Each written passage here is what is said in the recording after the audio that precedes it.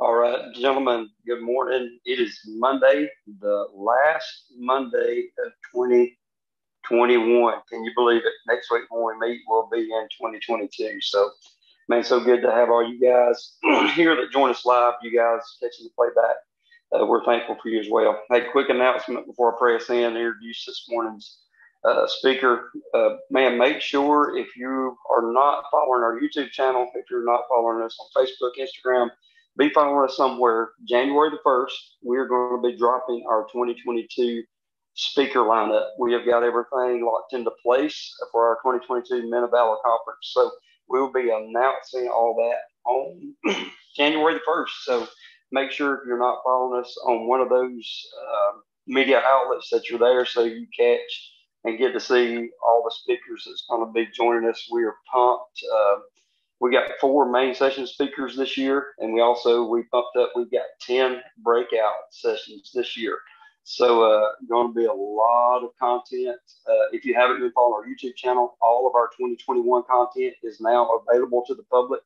Uh, this week, our last breakout session with Eddie Wilson dropped Thursday, so that is all the content from our 2021 conference is on our YouTube channel. So if you haven't checked that out, make sure you go back and uh, check it out and see kind of what we do. So we can't wait. August 25th, 26th, 27th. You can find out more at menofvalorconference.org. So that's just a quick announcement. Make sure. So this coming Saturday, uh, man, we're, we're pumped to be dropping all that exciting stuff. As always, if you're here live with us and you got some prayer requests, please feel free to drop them in the comments and uh, we'll pray over those before we end this call uh, today. Give you time to look through them and pray over them as well. All right, guys. So uh, I'm going to pray for us, and then I'll introduce this morning's speaker, and we'll turn him loose and let him go. So let's pray together. Father, we love you. Just thankful for another opportunity to gather this morning. Just pray that our hearts would be open to your word, and just uh, that we would receive whatever it is that you're wanting us to receive this morning, and would be obedient to do what you call us to do. Father, just uh, move among us in Jesus' name. Amen. All right, guys, this morning, uh, he's been with us before. Uh, he is a, a, good friend of mine. We've come to know him digitally. Uh, and I also got to meet him face to face a few months ago. He's a pastor down in South Georgia. He's also a regional director for the Bonhoeffer Project, the discipleship program uh, that I'm sure Kenny would love to tell you more about if you're interested in that.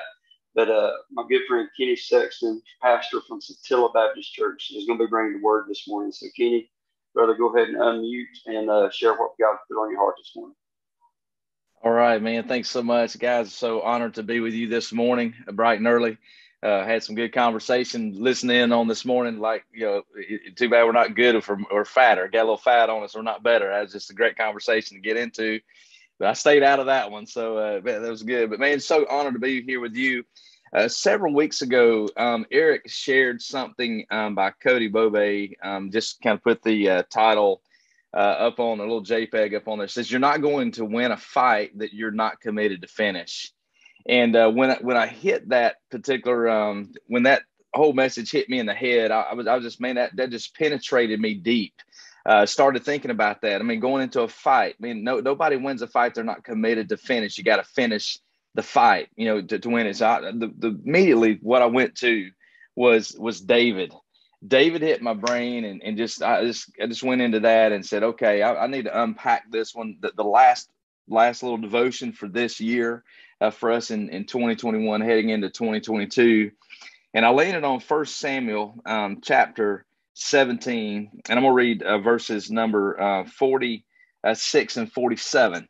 I'm going to read those two verses and I'm, I'm going to kind of work my way back a little bit through this. But it says this it says, Today the Lord will conquer you, and I will kill you and cut off your head. And then I will give the dead bodies of your men to the birds and the wild animals, and the whole world will know that there is a God in Israel. And everyone assembled here will know that the Lord rescues his people, but not with sword and spear. This is the Lord's battle, and he will give you to us. And so I, I, thought about those couple of verses and, and just uh, I, I, thought about just this Sam 174647.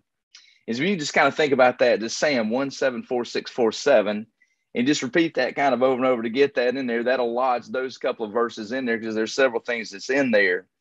But a lot of things happen before we get to those those couple of verses. In those couple of verses, we see that Saul was rejected as the king. And now all of a sudden, Samuel's coming to anoint the new king. And so while while Saul was king, David is now being anointed, and all of a sudden, all these brothers get lined up. All these brothers get lined up to be, you know, to see who is going to be the next king. And Eliab being the the oldest comes up, and man, it, it is he's not the one. And then then the second one, Abinadab, comes in, and no, he's not the one. And then another one comes in, and he's not the one. And finally, when when Jesse was asked, "Hey, do you have another son? Do you have another son?" Because there's there's a lot of stuff happening here. He said, "I have one that's out there taking care of the sheep's and the goats. And his name's David." He said, "We'll bring him in here." And once he come into the presence, the Lord told him, "said This is the one. Anoint him." So here's here comes the future king. He's about you know between 15 18 years old. He's coming in this place, and now all of a sudden the spirit leaves uh, Saul and he's filled with depression and fear. So now all of a sudden we know that that that that the people take on the shape and the and the attitude more or less of their leader. And so now here here's a leader now of the nation of Israel that now is filled with depression and fear. And now this Goliath man, this this behemoth of a guy steps in to come into this battle. And he's taunting. He's taunting the Israelite people, man. He's taunting them and telling them about their God. He's telling about his God, but nobody can can beat this guy. He's, he's supposed to be like nine feet nine inches tall, and I'm like, you know, my goodness, what NBA group would not want to have a nine foot nine inch tall guy on their team? I mean, I wanted I wanted to pick this guy and give him the money. I mean, just throw this guy the ball, let him rip down the, the, the goal, and man, let's just let's just get unleash him into this whole thing. But as far as his appearance goes, man, he is he, he's just he's unstoppable. This guy from Gath but the one thing that he had against him in this whole deal was that he was mocking the God of Israel. And so now you see this big spiritual battle starting to take shape. Here's this David, the shepherd boy, who's been out out there taking care of the sheep. But you see this big behemoth of a guy, Goliath, nine foot nine inches tall, and and there there's just this thing starting to brouhaha. And all through chapter 16, getting into 17, you see the stage being set and there, there's a lot of things that happened through this. We, we, we see where over and over it talks about that, that the Israelites were afraid and shaken. I mean, my goodness, it says that Saul was a, a head and shoulders above all the other people, but yet he was afraid. I mean, because he was riddled with this depression and fear. And so he would go into his tent as well. And so here's here's the leader of the Israelite people being taunted. It says they were taunted 40, you know, for 40 days, day in and day out, they're being taunted. But yet the leader of the people was running back into the tent as well. Now, David is sent on mission from his father to take just some food. So he, he stopped on Subway and kind of get a sandwich for his brothers and, and to go, go give them some food. And he hears Goliath taunting God. And, and he, he just stopped and heard. He said, Well, what's the reward here? So, so there's a reward that's going to be given. And then, then there's there's this exchange that all of a sudden this older brother Eliab had, and it said Eliab was angry. Okay, so there's there's another scene. So Goliath on the scene taunting the people of God. Now you've got Eliab, who's the older brother. He's angry. Why, why are you here? You're just trying to show out. You just want to be in battle. I mean, David, you should be tending the sheep. Who, who'd you leave the sheep with? And then David's asking some questions. And then Saul says some things like, like, you know, this is the way it is. I mean, he doesn't want to go in the fight. He doesn't want to go in battle. He had an opportunity for 40 days to do this. And, and so David, David's standing up to the challenge. And, and then Saul says, Hey, well, listen, well, hey, may the Lord be with you. I mean, that, that doesn't sound about right. I mean, a coward guy that, that's going to go back in the tent. He's been fearful for 40 days. Hey, well, okay, little David, go ahead, go ahead, David. May the Lord be with you. And then all this exchange about the armor. We've heard about that. He, he tries to Saul tries to give him his armor, and, and David goes, "Listen, I, I, I can't I can't do this because it I, it just doesn't fit. This armor doesn't fit me. I mean, he's a you know again he's just head and shoulders above the rest of the people. He can't use this, and so we see see all this thing building up. And I thought about Goliath. So what, what's what's some Goliaths in our life? What are some Goliaths in our life? How about fear? How about fear? You know, I have to be honest with you. I, have seen more fear among people over the last two years than I've probably seen in my lifetime. I've seen people that have fear, but I've, you know, I'm, I'm not here to talk about vaccinated, unvaccinated, or, or ideas or ideologies about all this stuff. I'm just talking about fear. I've watched generally people of God have and uh, just a fear of just looking at death. I mean, the potential of getting something and dying. I mean, the genuine fear of death. And and so I thought about it, and really the antidote, the antidote for fear is not courage. I mean, many times we think it's courage. Hey, you just gotta man, tighten your bootstraps up. Hey, show some courage, get in there, get get ready to go at it. But really, the antidote for fear is faith. The antidote for fear is faith. And, and what we see is, is God has uniquely given us his word. And in his word, there's 365 verses in the Bible that reference do not fear, have no fear, or fear not. Isn't that amazing that, that, that God already knew that the people there's we're gonna be we're gonna be just fearful at times, if not a lot um, and said, Here, here's 365 verses. So, one verse every single day of the year, I can look in God's word and I can plant that in my spirit to say, Fear not. I don't have to fear. Hey, listen, oh, death, where is your sting? I don't have to fear death anymore. He's conquered that because he went to the cross, he went to the grave, and, and, he, and he rose from the grave. He conquered all this. So, really, we shouldn't even fear death. Death i mean it's, it's the beginning of an eternal life. I mean we, when we be- become children of the king we don't have to fear anything at, at that point. So 365 verses god puts that in his scripture because he does want he does not want us to live in worry. He does not want us to live in fear and he does, does not want us to be crippled with anxiety he put that in there so maybe you have a goliath of fear well what about a goliath of rejection how about a goliath of rejection well, man, these these things show up in two ways. You've been the kid. Uh, sometimes it maybe got chosen last at, at, at, the at the game that, that you're playing, um, or maybe you've been felt rejection because maybe your parents got um, got divorced early on, and you thought, man, that that's my fault, or I'm being rejected. My dad or my mom's rejecting me with all this going on. But see, this thing plays out in two ways. You have on the, two sided coin. On one side of the coin, you have insecurity and low self esteem, and in that insecurity and low self-esteem we feel like we're never good enough. So you live this life of rejection and, you're going to live this thing out like i'm never good enough. I, I, can't do this good enough. I can't do that good enough. My work's not good enough. My marriage is not good enough. My parenting skills aren't good enough. You you live this life that you live in insecurity and self-esteem but you flip the coin over and you live a life of perfectionism and being an overachiever and in that you have this drive to succeed no matter the cost so no matter what the cost is going to be, you're going to have this drive to succeed, drive to succeed in my work, drive to succeed in my relationships, drive to succeed in everything, no matter what the cost is going to be, because you've got to be perfect and you've got to be an overachiever.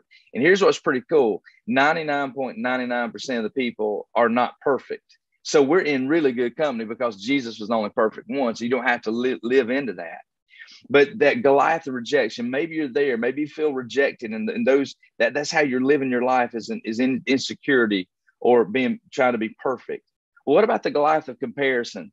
We've seen this many times. Hey, listen, pastors can suffer from this.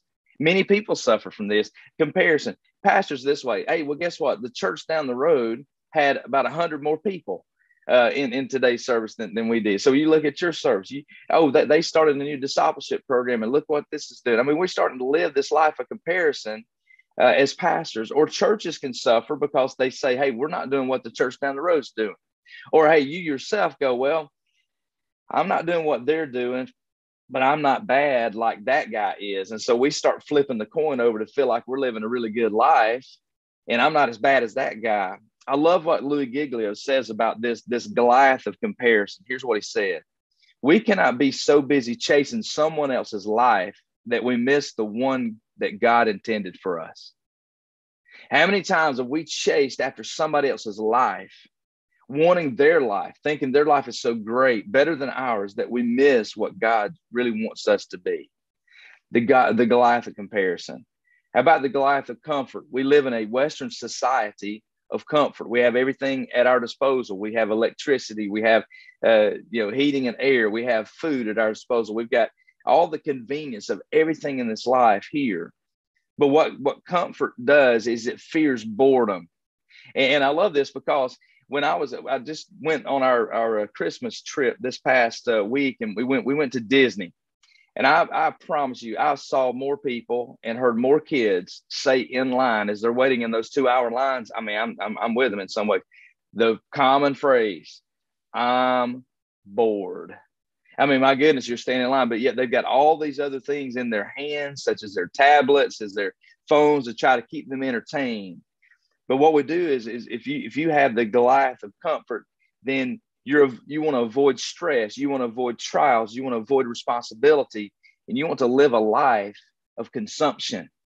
You want to be a consumer, and then you're running from one one trip to the next trip to the next trip to the next trip to the next good thing the next meet you're, you're running to try to, to to get away from from from that boredom.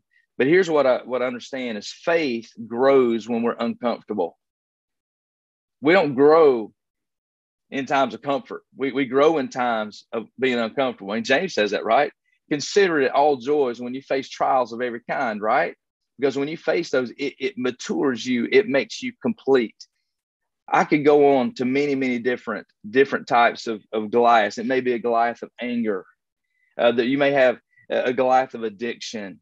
And many times we're talking about the addiction of maybe alcohol, drugs, or pornography. But man, what about the what about the addiction to electronics? What about the addiction to Facebook, to TikTok, to Instagram, to Twitter? But you know, we're living in this addicted generation. Have you thought about success being an addiction? man, I'm just addicted to success. I'm addicted to all these things. But that's that Goliath. But see, here's, here's the thing that, that I'm going to give you to, to, to leave with today, just a, just a few thoughts on this. Goliath was out against the Israelite people and he taunted them for 40 days. And what's so interesting about this, I, thought about the word taunt. Many of us watch football. My goodness, anytime somebody taunts another person, there's a flag. Something there's a referee that throws a flag, you get a 15 15 yard penalty just for taunting.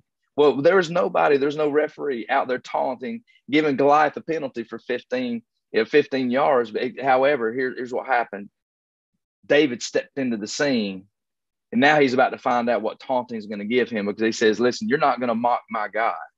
And so he steps into the scene. And, and what we realize here is that your Goliath, listen, you have a Goliath that, that you're facing, or you may be facing Goliath down the road, or you may just come out of facing the Goliath but your Goliath can be relentless and can be deafening. I mean, that, there are many times where for, for 40 days and, and 40 nights, it says day in and day out, Goliath taunted them. You know, sometimes it may seem that the taunting has been for 20 years or 30 years or 35 years or 40 years or 50 years. It seems like it's just relentless. It won't let go. You know, maybe, maybe, maybe instead of, of thinking and looking at that Goliath, turn your gaze and your focus on the Lord. It says when, when, when we look at him, man, the things of this life grow strangely dim. We say we, we sung that lyric before in the light of his glory and grace. Are, are you harboring a wound? Are you harboring bitterness in there? Have you been wronged in some way? And, and this giant, this Goliath in your life just continues to just haunt and haunt and haunt. And he's taunting you day in and day out. Well, Psalm 16, 8 says this I keep my eyes always on the Lord, and with him at my right hand, I will not be shaken. I'm not going to be shaken by some some giant when I know that that God is on my side and God is the victor, God is the conqueror. I can go into this battle a winner. I can win this battle because really it's not my battle, it's his battle. Sam 1746 47. Sam 174647. We'll talk about that. See, remember Peter during the storm. Peter, the only one that walked on water. Peter, the only one that stepped out of the boat. As long as he kept his gaze and his focus was on Jesus, he didn't sink. Man, the winds were still blowing, the rain was still howling. He was looking at Jesus, but as soon as he took his eyes off Jesus, he sunk and he grew in fear. Fear overcame him. He sank, keeping your eyes on Jesus. We've got to keep our eyes on him. So remember that your Goliath can be relentless, can be deafening. Number two, make sure that you're fighting the right battle. In this exchange, David comes on the scene, and his oldest brother now they he, he says he grew angry and became angry. The thing was here is that David did not get distracted by the wrong battle. Ephesians chapter six, we put on our armor of God. It, it's a it's a spiritual battle. David didn't get, get distracted because his brother was upset and they can talk. He he kept his gaze on the fact that there is a spiritual battle being fought, and he's about to go in the spiritual battle because he was he, he, he knew God was on his side and he was not going to let this Philistine continue to mock his God. He's going to go into this battle. He's not going to get sidetracked because his brother was upset. Make sure you're fighting the right battle. because it's always a spiritual battle. We don't wrestle with flesh and blood, but with principalities.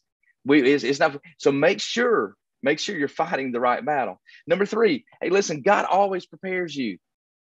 God, God prepared David every step of the way. What did he tell Saul? He said simply this Man, listen, I've killed lions and bears with my bare hand. I've rescued the sheep uh, from the grass that, that those, those animals were going to kill my sheep.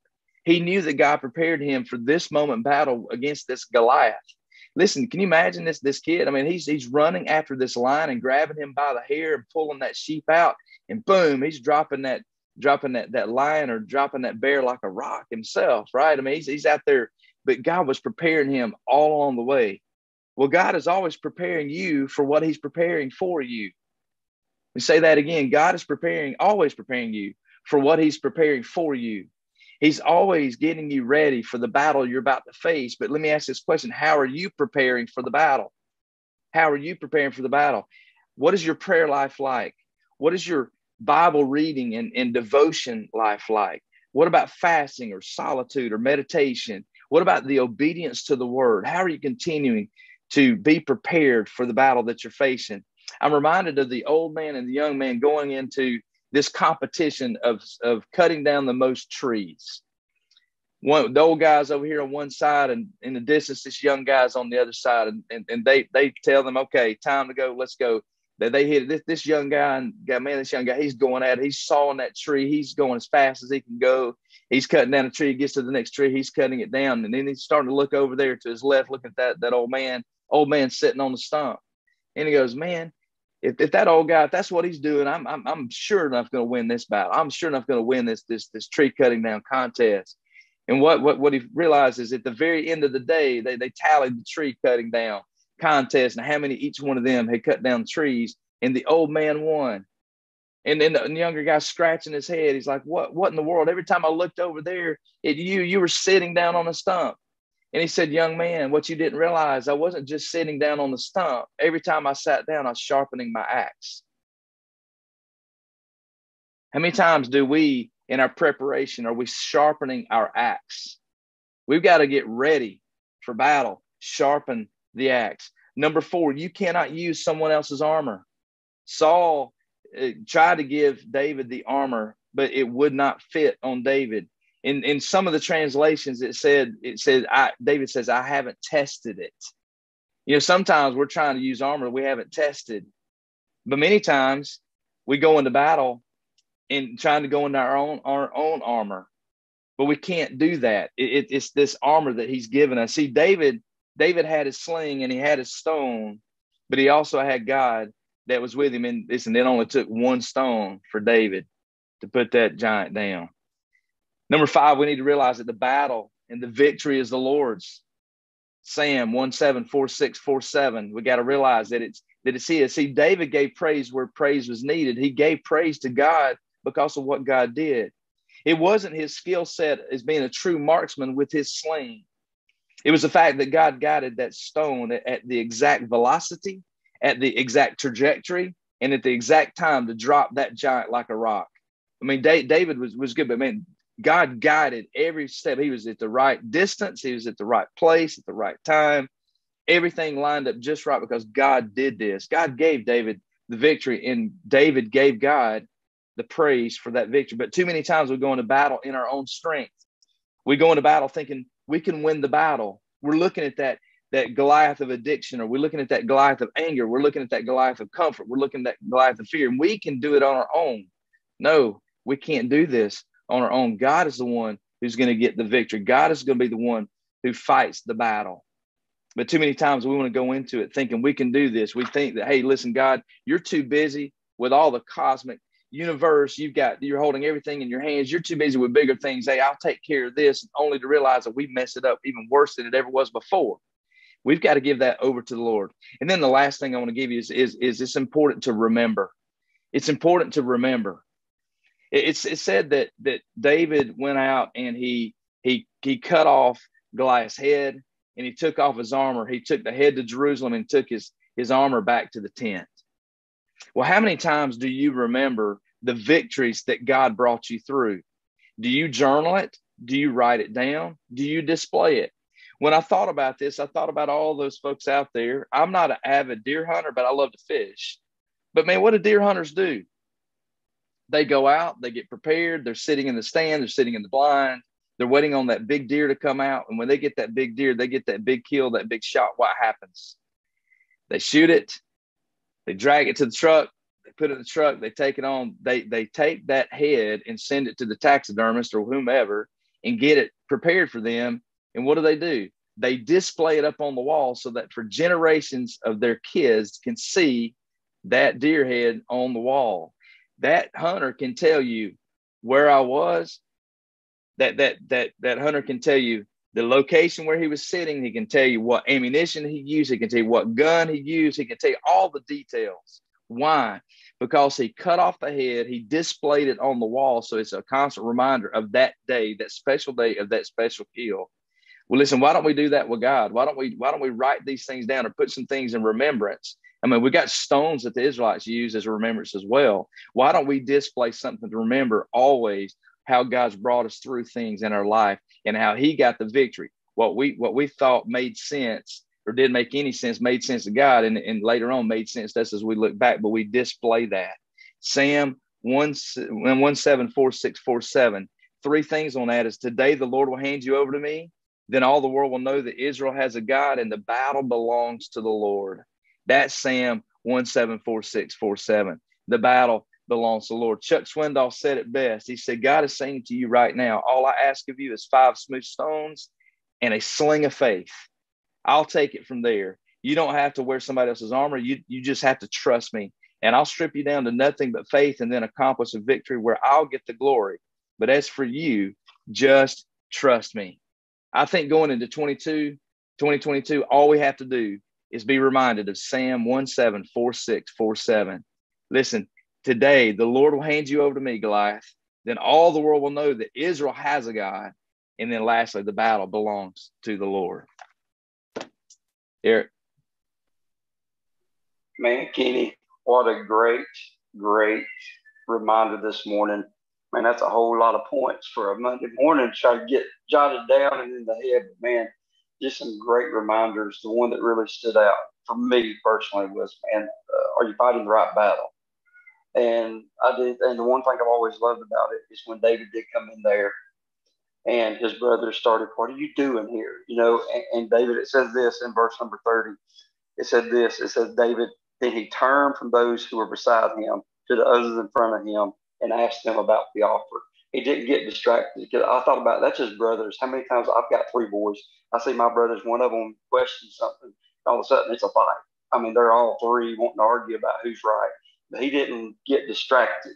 He turned away from it. And, and I just thought, man, how many times do we get distracted by, and we're fighting a fight, but we don't realize it's not the fight that we're called to fight. It's something that the enemy's put in our life to distract us from the big fight where God is wanting to show up and show out. Man, what, what a great reminder, Kenny, on this Monday to get us uh, just pumped and ready to go out and really focus on the fight that's before us. So thank you, my brother, for sharing this morning. Guys, thank you all for being here. We're, we're right on time this morning. Uh, man, don't forget, hey, if you're live here on the call, check through the, the comments. There's some prayer question there and pray over those before you go. I'll leave the call up a few minutes. And uh, like I said, man, if this was an encouragement to you this morning, it should be up on our YouTube channel within an hour. Feel free to share it, send it out, and encourage another brother to come and be a part of what God's doing here at Men of Valor Conference. So, men, let me pray over you and then go light it up for the King today. Father, we love you. We're just so thankful for the word we've heard, for uh, the challenge for us today to really focus in on the fight that you are calling us to, God. May we not be distracted. May, as Kenny said, may we keep our eyes on Jesus as we go out. Father, we pray over all the prayer requests uh, that are out there from the men, Lord, that have shared this morning. And we just pray, God, that uh, your blessing, your anointing, that your will be done in each and every request, Father. May uh, we take the word we've heard today, may we apply it to our lives, and may we go light it up for the King today. We ask all this in his name. Amen. Love you, man. Have a great rest of your Monday or Tuesday as uh, for Steve in Japan. And uh, and you guys have a great week and uh, go make much of Jesus. Love you guys.